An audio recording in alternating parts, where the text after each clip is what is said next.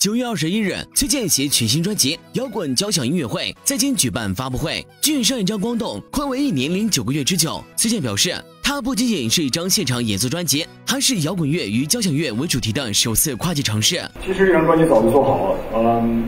嗯，因为我两年以前发了我的新专辑，我当时实际上就可以拿出来，但是索尼公司他们建议我说，应该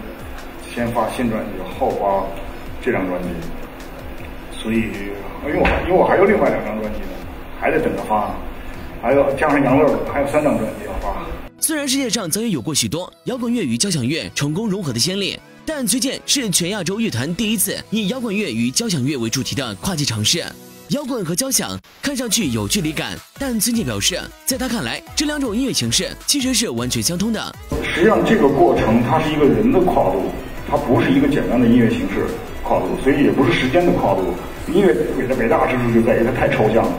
它没有漏洞，也没有什么跨界。音乐、爵士、古典都是一都是一个都是都是通的。我今天没有机会说到爵士，如果说爵士，我可能又有一大套话要说。对，因为是一样的。活动当天，北京交响乐团团长谭丽华和口琴音乐家杨乐也以崔健好友身份出席了发布会，并且分享了这场空前音乐会台前幕后趣事。更有索尼音乐大陆暨台湾地区总裁周建辉也惊喜现身，赠送了崔健一把特制的小号，象征崔健三十年为起点，吹响摇滚路上新长征。